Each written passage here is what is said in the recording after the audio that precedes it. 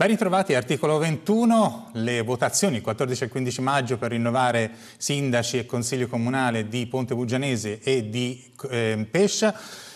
Oggi siamo qui dopo questa carrellata di presentazione dei candidati appunto del Comune di Pescia e del Comune di Ponte Bugianese per capirci qualcosa eh, su queste votazioni. Come si vota? Noi siamo in compagnia di Massimo Chiossi, eh, avvocato dell'Ordine di Pistoia, per tanti anni presidente di Seggio, quindi possiamo dire esperto di questioni elettorali.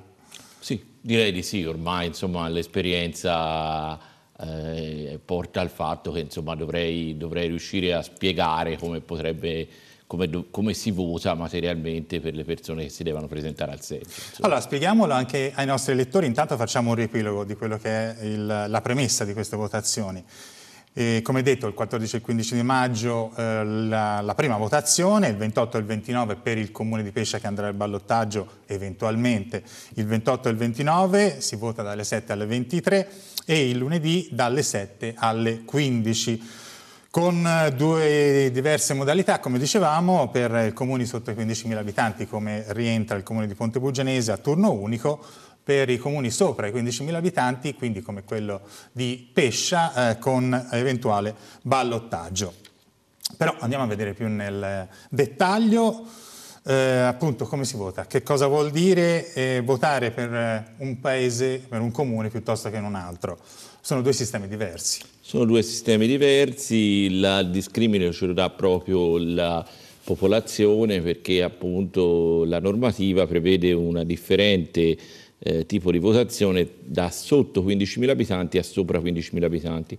Poi c'è un'ulteriore estensione da fare eh, addirittura se il comune ha meno o più di 5.000 abitanti e, e a cui arriveremo, in questo caso Ponte Bugianese rientra tra quelli che ne hanno più di 5.000 e meno di 15.000. Allora, partiamo da Pescia che ha con censimento del 2021, 19.223 abitanti per essere precisi, e quindi adotta, se non sbaglio, un sistema maggioritario, quindi esatto. eventualmente andrà al ballottaggio, esatto, poi vedremo esatto. come si va al ballottaggio. Quindi questo comporta che in realtà nel comune di Pescia eh, ci siano candidati a sindaci e eh, liste a, eh, che, di supporto, che possono essere anche più liste che supportano lo stesso candidato eh, il candidato che dovesse prendere la maggioranza assoluta, cioè il 50% più uno, viene eletto sindaco direttamente al primo turno.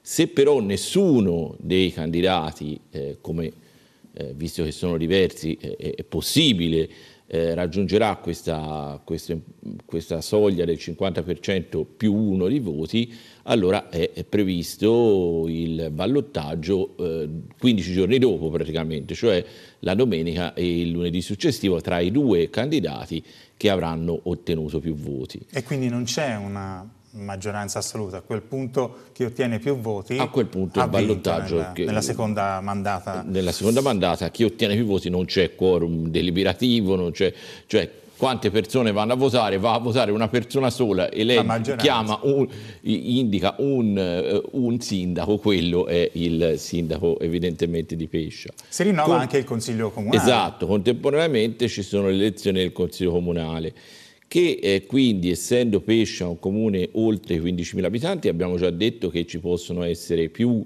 liste che supportano ciascun sindaco, ma eh, la particolarità anche dei comuni dei 15.000 abitanti è che è possibile il voto disgiunto, ovvero sia io potrei votare un candidato a sindaco mettendo la X sul nome del candidato a sindaco, ma anche non solo chiaramente una lista a lui collegata, ma è valido anche il voto fatto a un candidato a sindaco e a una lista che non lo supporta. Per fare un esempio pratico, il voto disgiunto quindi è possibile in questo caso solo nel comune di Pescia. Solo nel comune di per Pescia. Per le elezioni del sindaco e dei consiglieri nel comune di Pescia è possibile fare e dare il voto al candidato sindaco di centro-sinistra e con voto disgiunto dare anche una preferenza a un candidato consigliere delle liste di sì, centro-destra. Non solo, non solo, ma è possibile, allora, è possibile intanto votare solo il sindaco. Io posso votare con la X solo sul sindaco e questo voto va solo ed esclusivamente al sindaco. Posso votare una lista e quindi se non indico il sindaco chiaramente andrà alla lista e al sindaco che questa supporta posso votare il, sindaco e la lista per fare più chiarezza ancora, ma appunto, come stavi dicendo, posso votare un candidato al sindaco e una lista differente. All'interno della lista posso poi esprimere delle preferenze. Preferenze che eh, in questo caso possono essere di, fino al numero di due, purché venga rispettata la differenza di genere, ovvero sia un uomo e una donna. Posso anche nominare ovviamente come consigliere un solo uomo o una sola donna, ma se ne nomino due deve essere necessariamente un uomo e una donna. Termino dicendo, il disgiunto è possibile farlo col sindaco e con la lista, quindi io posso votare il sindaco e una lista che non lo supporta. Non è possibile il disgiunto sui candidati al Consiglio Comunale.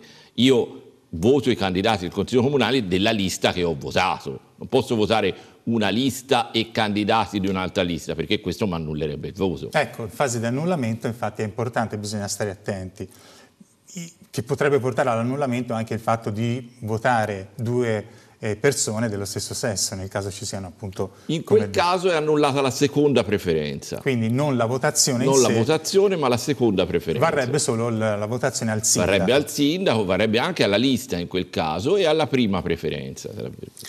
Questo invece per quanto riguarda, abbiamo visto, il comune di Pescia, per quanto riguarda invece il comune di Ponte Bugianese che rientra nei comuni al di sotto di 15.000 abitanti, quindi con un sistema eh, diverso di votazione, per la precisione 8.795 abitanti, sempre riferimento al censimento del 2021. In questo caso come si svolge il In questo caso si svolge a turno unico, nel senso che... Quindi non c'è il ballottaggio. Non c'è il ballottaggio, stranne in un caso di scuola, ovvero sia che i, i, candidati arrivino tutti con lo stesso numero, non di percentuale, ma di, di, di schede uguali, cioè nel senso arrivassero a 4.001 entrambi, tra virgolette, allora sarebbe... È mai successo? Credo proprio di no, mm. credo proprio di no, perché... E come mai viene riportata dalla giurisprudenza? Perché ovviamente normativa? la normativa deve, deve, essere, deve prevedere anche quelle che possono essere ipotesi assolutamente residuali, poi può darsi che in comuni particolarmente piccoli, sappiamo che ci sono eh, in Italia anche comuni con veramente un numero di abitanti abbastanza irrisorio, può darsi che lì ci sia più possibilità che, che un caso come questo di scuola avvenga un comune di 8.000 abitanti credo non sia proprio pensabile. Per aggiungere una curiosità a quello che stava dicendo mm. del ballottaggio anche con i comuni di meno 15.000 abitanti, ci sarebbe comunque una successiva fase, anche se il ballottaggio eh, risultasse poi eh, diciamo esatto. in parità perché si andrebbe a eleggere il candidato più anziano. Esatto, no? esatto, esatto, ma appunto stiamo parlando di ipotesi di scuola, quindi esatto. eh, al 99,99 ,99 e, e per periodico per cento a Ponte Bugianese si vota in un unico turno, questo comporta che eh, domenica e lunedì fondamentalmente poi chi eh, candidato sindaco avrà più reso più voti a prescindere dalla percentuale sarà il nuovo sindaco di, di Ponte Bugianese. In quel caso non è possibile il voto disgiunto invece, trovandosi all'interno di comuni entro i 15.000 abitanti, io posso votare il sindaco e la lista a lui collegata non posso votare l'altra lista o le altre liste. In questo caso ci sarebbe l'annullamento, del, del, voto. voto. L'annullamento del voto. Quindi sì. attenzione.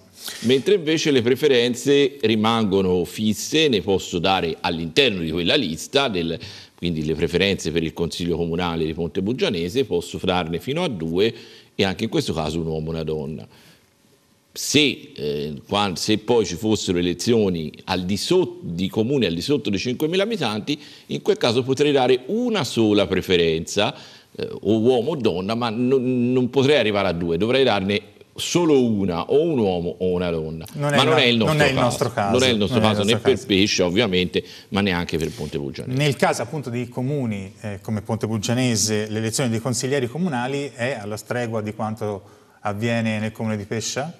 No, è differente perché appunto in quel caso la lista che è co collegata al, al, al candidato sindaco eh, prenderà i due terzi dei seggi fondamentalmente e quindi poi il, resto, il, restante terzo eh, viene diviso tra le, le, le, altre liste, gli altri sindaci, le, le altre liste a supporto degli altri sindaci che si siano presentati. Il primo a ottenere il seggio è il, il, il, sindaco, il candidato sindaco e poi tutti gli altri consiglieri esatto. che sono candidati.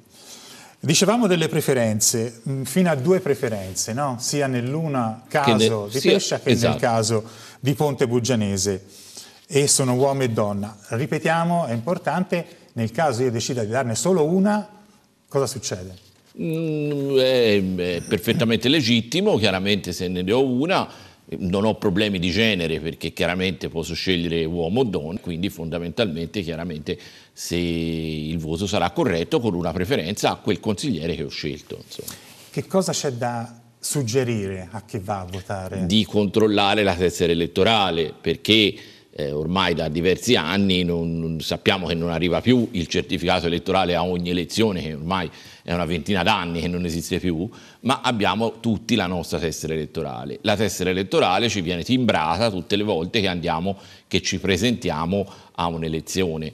Eh, questo comporta che ovviamente la tessera elettorale, per quanto abbia molti spazi, a un certo momento termina bisogna guardarla prima di presentarsi al seggio perché se ci si presentasse con una tessera elettorale finita in cui non c'è più spazio il, eh, i componenti del seggio non ci potrebbero ammettere al voto. Eh, questo comporta che se noi ci eh, accorgiamo prima che la tessera è finita, possiamo attivarci prima con eh, gli uffici elettorali del singolo comune e chiedere una nuova tessera elettorale. Che ricordiamo comunque, scusate, sono aperti anche il Rest giorno delle elezioni. Esatto, resteranno aperti sia la domenica che il lunedì, quindi è chiaro che se a uno dovesse capitare ha modo e tempo di recarsi in comune e, e rifarsi la tessera elettorale. Però se uno ci pensa anche prima eh, meglio, non, non, fa un viaggio solo al seggio invece certo. di farne due. Mm, le ultime due cose, chi può andare al voto? Eh, allora, eh, trattandosi di amministrative, oltre, al, oltre ovviamente ai cittadini italiani, c'è da considerare i residenti cittadini dell'Unione Europea, quindi eh, i cittadini dell'Unione Europea residenti nel comune hanno diritto di, di, di, di presentarsi al voto. Maggiorenni, ovviamente. Maggiorenni, certo. Maggiori di 18 sì, anni. Sì. Lo spoglio delle, delle, cartelle elettorali, delle schede elettorali? Inizia il lunedì alle, alle ore 15, cioè nel senso alla fine, del, del, de, de, de, alla fine della votazione. Mm, generalmente ovviamente i comuni più piccoli sono più veloci certo. perché hanno meno schede perché certo. c'è un... Verrà fatta prima la, la, comunque eh, l'indicazione del sindaco e poi il consiglio comunale. Eh, l'ultima cosa davvero, perché siamo in chiusura, eh, si raccomanda che cosa agli elettori? Eh, al di là del senso di responsabilità, di andare al voto, perché a volte ci sono eh, anche dei consigli da parte di alcune liste elettorali, che non è il caso in questione, di mh, magari una domenica eh, col sole, fa caldo, di andare al mare. Ricordiamo che il diritto al voto è un diritto è un diritto dovere, poi qui stiamo parlando di elezioni amministrative, quindi stiamo parlando di persone che eh, sono in contatto diretto con il nostro territorio, quindi fondamentalmente eh, l'auspicio è che ci sia una buona eh, affluenza al voto fondamentalmente. Eh, cioè, delle recenti amministrative, ehm, ecco, quali sono state le percentuali di, di voto nel, nelle ultime Ma mandate? Il problema è che normalmente ora negli ultimi anni ci sono stati molti election day, quindi fondamentalmente eh, il problema è che appunto quando sono state riunite elezioni di un tipo con un altro, questo ha un po' eh, diciamo eh, variato il dato. Oggettivamente, oggettivamente mi ricordo le elezioni ultime di Pistoia sono state frequentate, ma non frequentatissime, quelle di, di, di, di precedenti di cinque anni fa erano state eh, sicuramente con una percentuale maggiore. E allora augurandoci che eh, diciamo, chi ha diritto al voto vada a votare perché è un diritto importante anche per eh, avere una voce in capitolo su quello che succederà nei cinque anni successivi all'interno del proprio comune. Ringraziamo l'avvocato Massimo Chiozzi per, essere, Chiozzi per essere stato con noi e averci un po' chiarito quelle che sono il, le metodologie del voto. Grazie Ricord a voi per l'invito. Ricordiamolo, esperto di questioni elettorali, per il fatto anche che da anni frequenta i seggi elettorali come presidente di seggio e quindi grazie al suo intervento. Grazie, nostri, grazie, ai nostri telespettatori per essere stati con noi. Vi ricordo che eh, dalle, prossime, dalle, prossime, giornate, dalle prossime puntate, si, riparte, si ripartirà con eh, i candidati i, mm, sia nel comune di Pescia che nel comune di eh, Ponte Bugianese. Grazie a Massimo Chiossi.